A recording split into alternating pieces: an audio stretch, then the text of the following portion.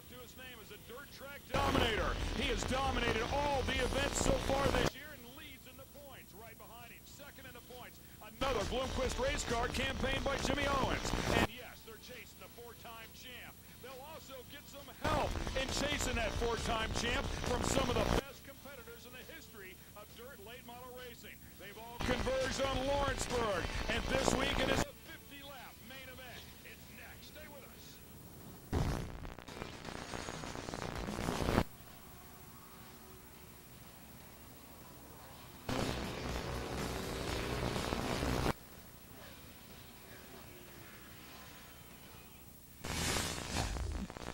Welcome to Lawrenceburg, Indiana for the Lawrenceburg 50 presented by E3 Spark Plugs with Diamond Fire Technology.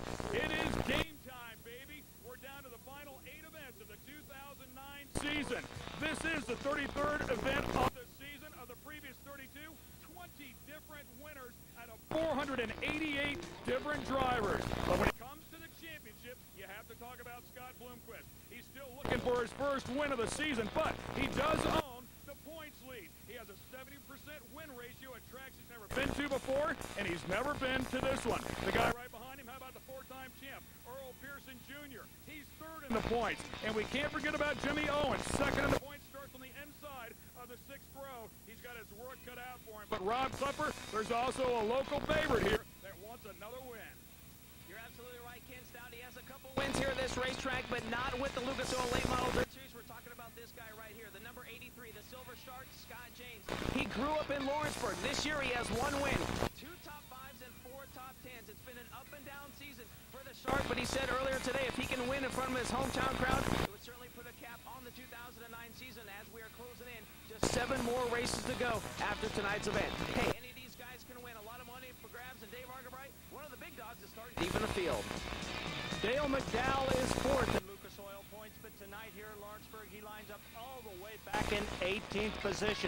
50 laps seems like a long time when you talk about a race, but for Dale, if he doesn't want to lose any ground in the point race, he has to go forward right away. That 17M is absolutely one of the cars we are going to watch in this 50-lap race.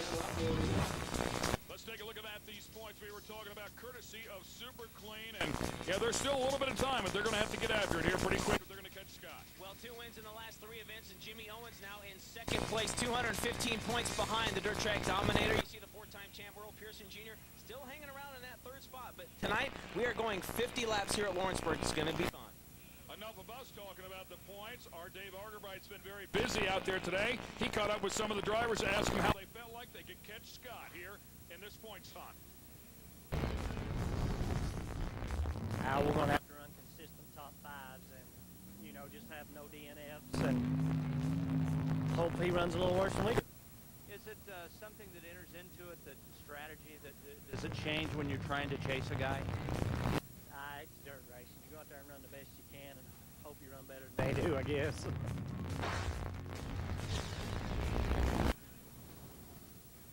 It's going to be extremely tough. Um, what I really need is Scott to fall out one or two races. Um, Jimmy Owens got 100 and I don't know, 50, 60 points on me now. Um, the only thing we can do is go out there, qualify best we can, run good in the heat race, and you know, finish, win the feature, or at least finish in the top three. That's all we can do.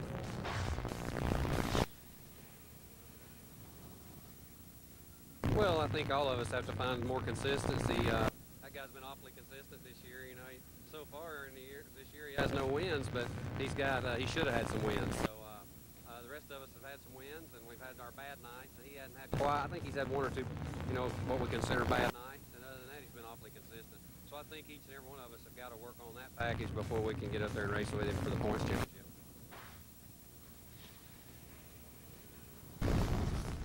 Well, I, I I haven't looked at the points all year. They tell us where we're at or stuff, but I mean, it's you know, if you're good, the points have all come with it. You know, so you know, last month or so we've been running real good. And, you know, give a couple big races away. Hopefully, you know, we can end this thing on a good note and get some of these big races. Well, let's take a look at the Speedway. 3 8 mile, very high bank dirt oval. Uh, about a mile and a half west of 275, just across the border from Cincinnati, Ohio. It's been around since 1950, but Dave Rudisell, the promoter of this racetrack, they changed this track a few years ago, and it's the second visit for the Lucas Oil Late Model Dirt Series, and it's going to be a great night of racing. Earlier today, Dave Argabright caught up with a former NHRA Nitro Funny Car champ, also has spent some time in a midget, and earlier this month won his first dirt late model race. The Lucas Oil Late Model Dirt Series continues to grow in popularity, and evidence of that is the many different faces that we see from other disciplines that come over here to race with us. And case in point, Cruz Pedregon, NHRA superstar, making his Lucas Oil Late Model Series debut. First of all, I'm excited to see you here, Cruz, and I know you're excited too, because I know how much you love dirt track racing. Yeah, you know, I discovered these cars uh, a couple years ago when, when Stuart and the guys invited me to the Prelude, and I thought, man, these cars, they're, incredible. They, they have the speed, the power, the beauty, and uh, I've been to oh, 10 or so races since uh, last year's Prelude, so yeah, I'm trying to get some practice, see if I can run halfway decent with these guys. How big a learning curve is there when you jump into these cars? Huge learning curve. You know, I've driven sprint cars and midgets. Those cars are, are difficult as it is, but these cars I think are a little more difficult because the rear end moves in them, and but the principles are the same. The laws of gravity, you know, you still have to go where, where the moisture is, and and uh, but these cars definitely uh, uh, they have a lot more going on with the suspension. So you really have to be, you have to know what the car does when you're on the throttle versus off the throttle. So I would say that's probably the single most important thing to learn, which is why I'm out here running uh, running my my uh, my rear off so I can get so I can get where I can uh, halfway know what I'm doing.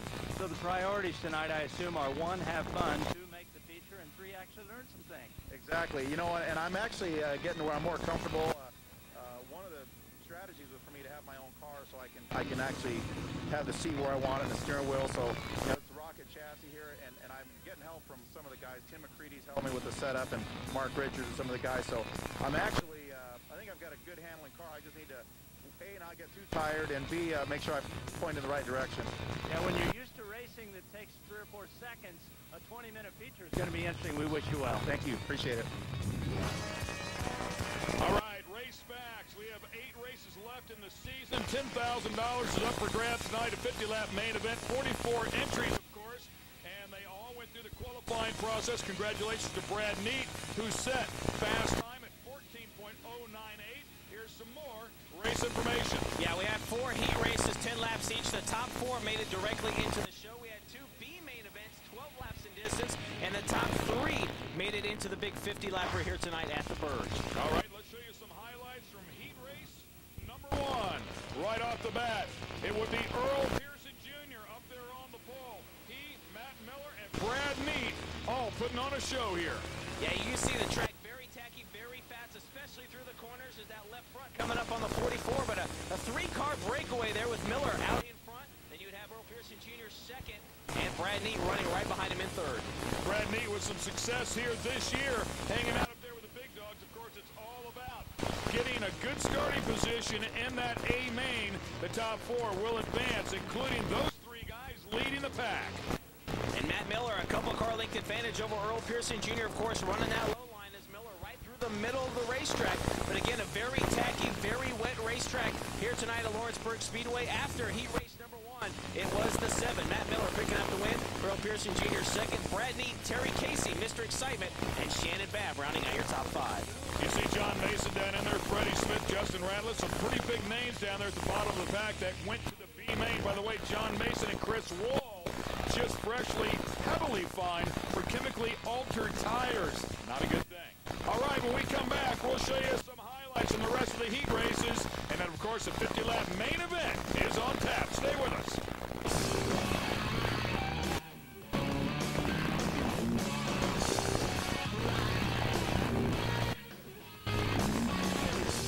Want better engine performance? Want better gas mileage? Do you want to save money? Try Lucas Fuel Treatment. It cleans your engine as you drive. It helps your fuel burn more thoroughly increased performance and mileage. It also lubricates the upper cylinders. Lucas Fuel Treatment. It works. So you got both those things for five bucks? Five bucks. How about five bucks? No way. Every day on Quiznos new Choose 2 menu, get two big Quiznos discs for just five dollars. Like an Alpine chicken Sammy and a bowl of broccoli cheese soup. Mm, mm, mm, Choose two for five. These are the building blocks of a perfect choose from. That's why I book with Expedia, so I can find someplace familiar or somewhere more distinctive. Nice. Then I can compare dates to find out when I can save the most cash. Done and done. We should do this more often. More choices, more savings.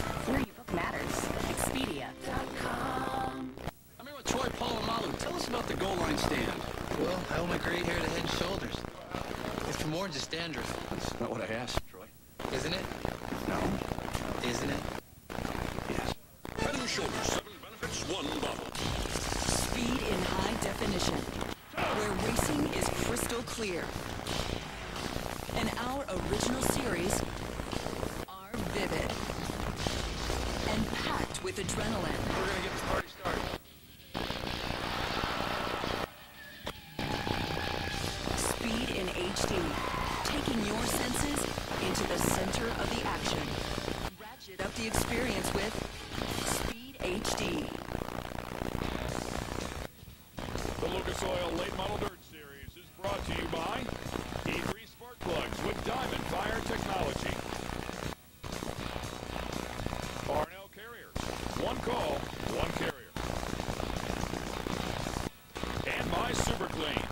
Just clean, super clean. 4,700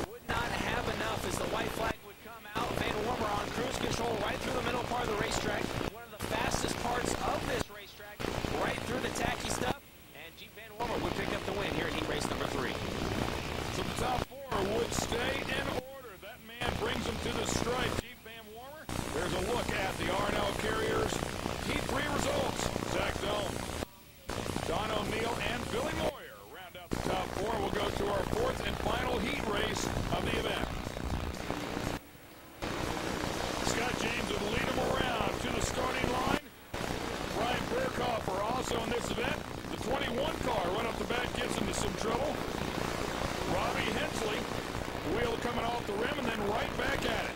Yeah, the driver from right here in Lawrenceburg, Indiana, the Silver Shark.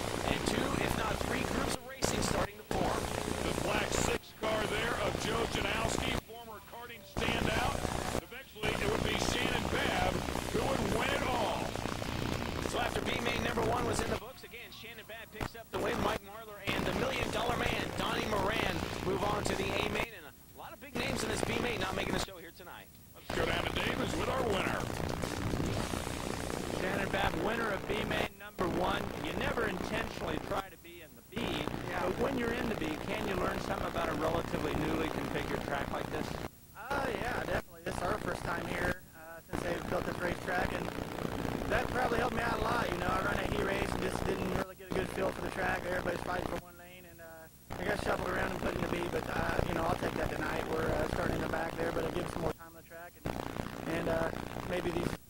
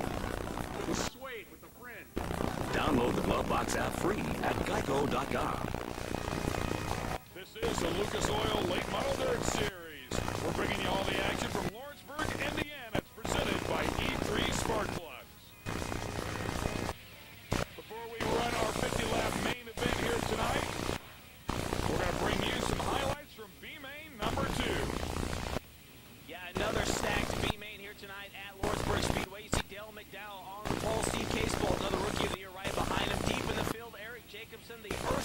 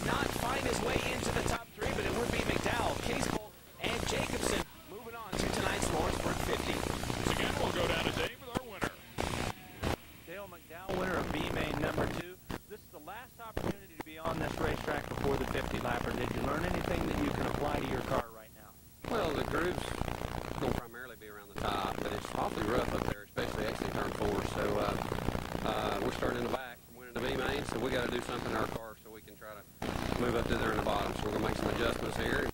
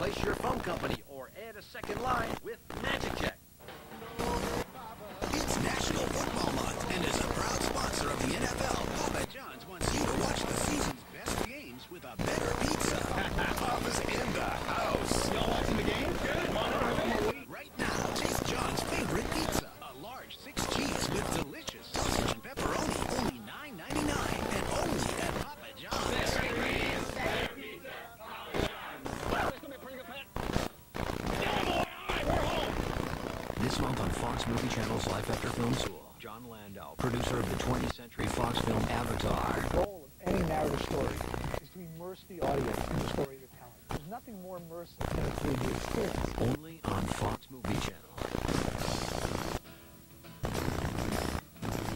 When you need to ship one pallet or more, one call is all you need.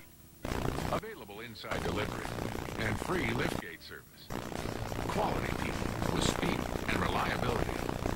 Coverage from coast to coast in the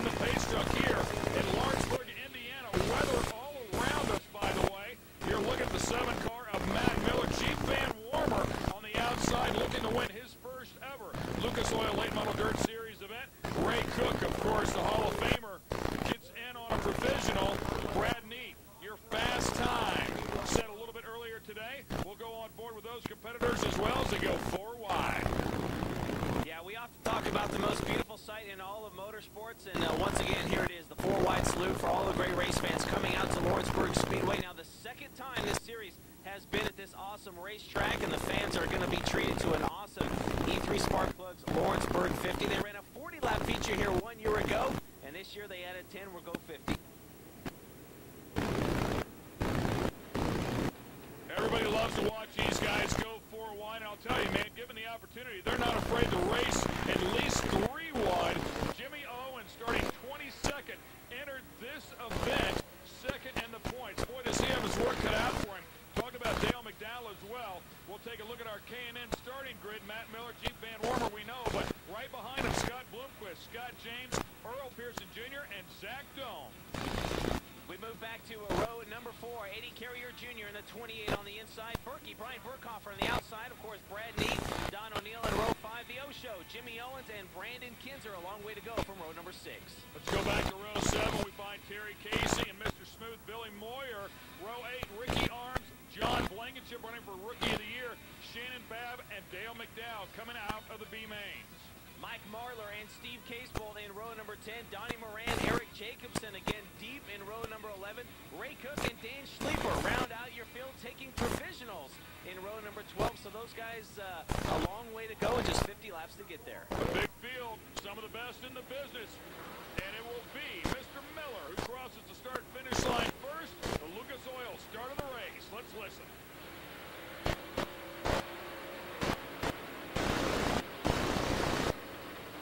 Now, these first couple of laps, as you know, Rob, so, so scary. I mean, all these guys just hoping they can get through clean as they're side-by-side racing everywhere. On board courtesy of K&N with Brad Neat, currently running in that 11th spot. Again, a lot of great onboards here tonight. We'll bring you a lot of action from the front, from the back. As the caution comes out here on lap number one. And it looks like the C9 of Steve Casebolt bringing out the caution. Yeah, there he is. Dixie Chopper sponsored C9, the driver from up the road in Richmond, Indiana. Former Lucas Oil Late Model Dirt Series Rookie of the Year as he slows on the back straightaway. Yeah, he's had a tough year, kind of an up and down year for him. Jeep Van Wormer staying out of trouble, hoping he can win one here. Stay with us. We'll find out if he does that. The world's greatest collector car events return to speed. Barrett Jackson. Don't miss your only chance to see these treasures cross the block live. Barrett Jackson. Live coverage begins Tuesday, 7 p.m. Eastern, only on Speed. All trucks talk reputation.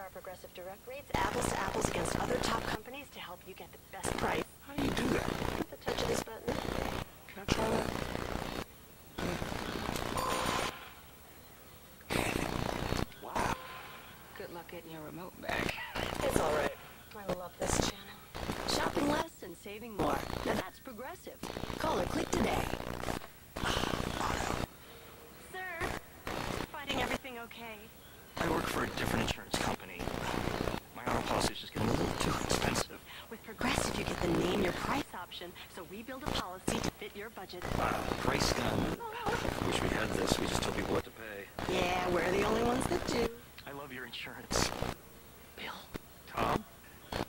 Hey, it's an office party. The freedom to name your price. Only from Progressive. Call or click today. We're surrounded by rain, but right now the racetrack is perfect here in Lawrenceburg, Indiana presented by E3 Spark Plugs. This is the Lucas Oil Late Model Dirt Series, the first restart. Jeep Van Wormer had taken the lead away from Matt Miller, and he starts everybody off. Nice onboard shot there of Brad Neat. Here comes the Shark. The 83 car scuff. Look push down there underneath, and they go too wide. Yeah, already too wide here very early. We talked about the track was tacky fast early on in the day. Now the sun has gone down. It's nice and slow.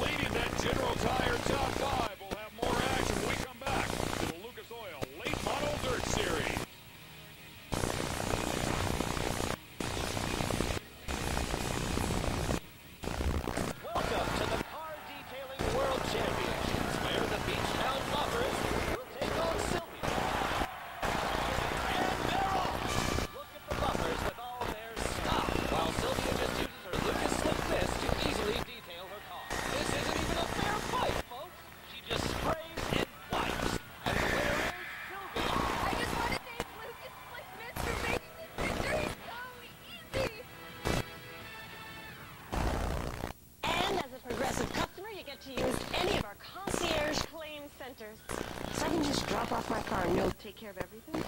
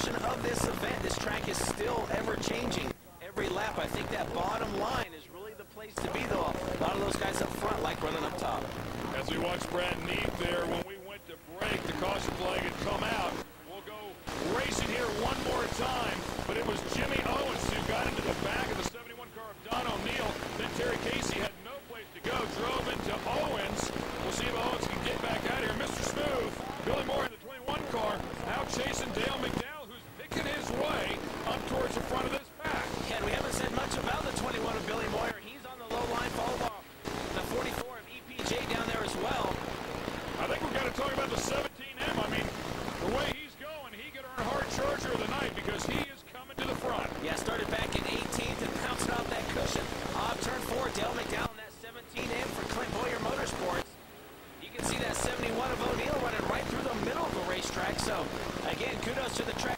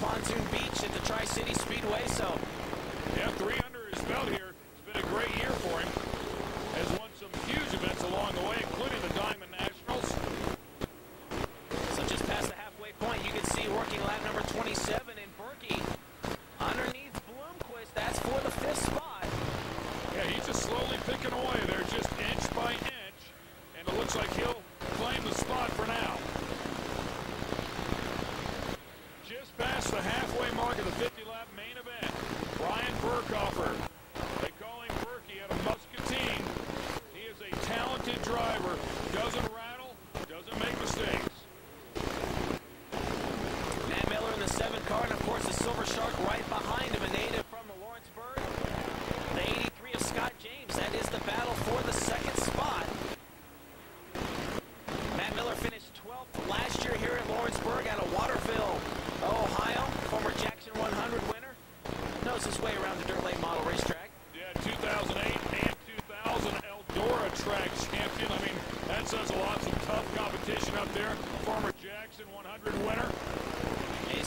Lucas Owens, to his credit, trying to make number seven, but you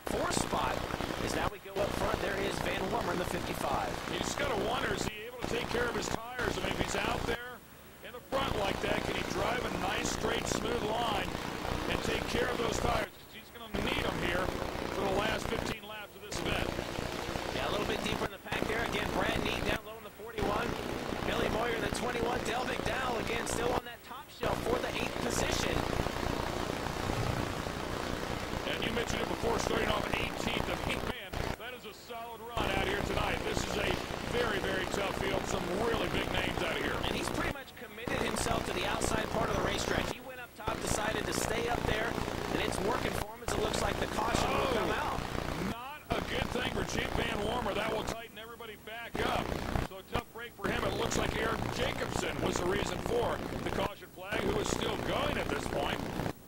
So Jeep Van Wormer will take him immediately.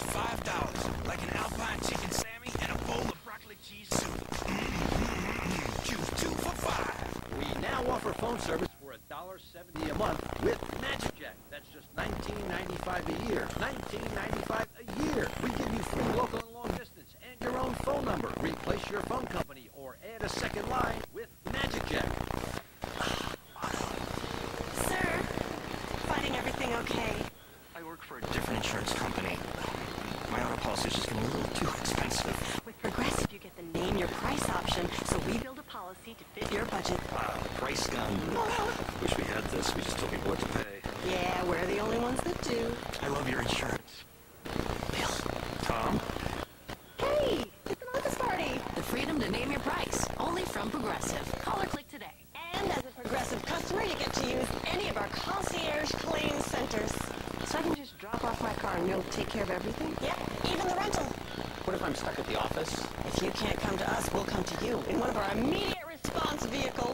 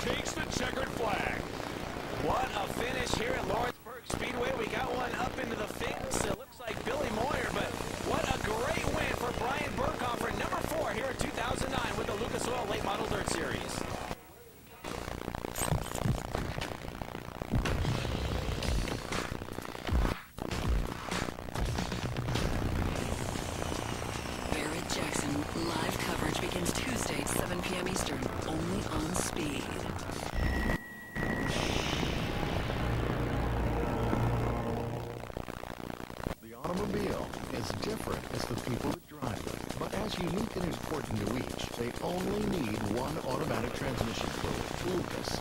Lucas Multi-Vehicle Automatic Transmission Fluid was developed to enhance transmission performance and longevity on a wide variety of vehicles in a world that is so complex. With Lucas Multi-Vehicle ATF, it's nice to know that taking care of your car doesn't have to be.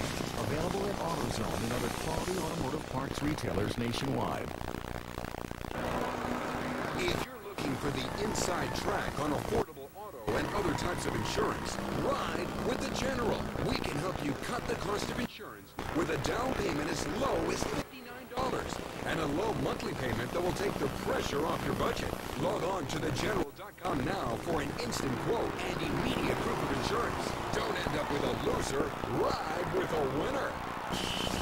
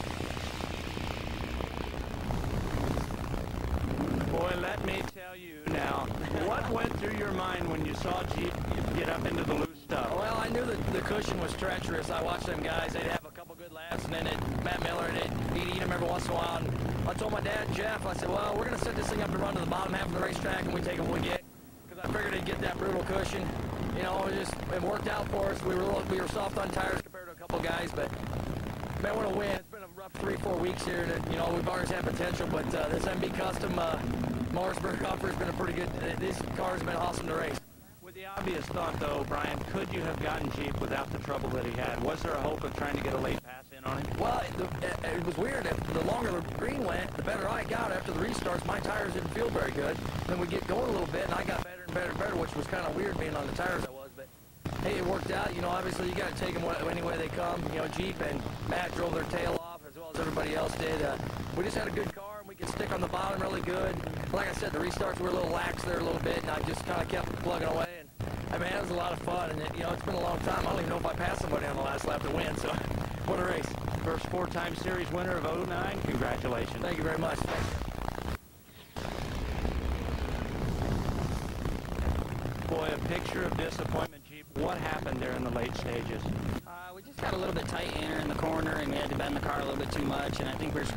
speed off right in the center, and uh, just made one mistake, and you can't make mistakes with these guys out here. Uh, you know, it just goes to show you that uh, you need to lead uh, lap 40, not lap 1 through 39. You know, when you when you talk about this, I know you're disappointed, but is it encouraging to come out here and run so well against these guys? Yeah, definitely it is. I mean, these guys are tough. Uh, you know, I feel like we, we can be as competitive as any of them on any given night, you know, but usually they're uh, they're competitive every night. Yeah, we're just bummed out, you know. Yeah, you want to win so bad, and, um, you know, I guess it wasn't our night. Uh, we congratulate you conducting yourself well. You'll get them next time. Thank you.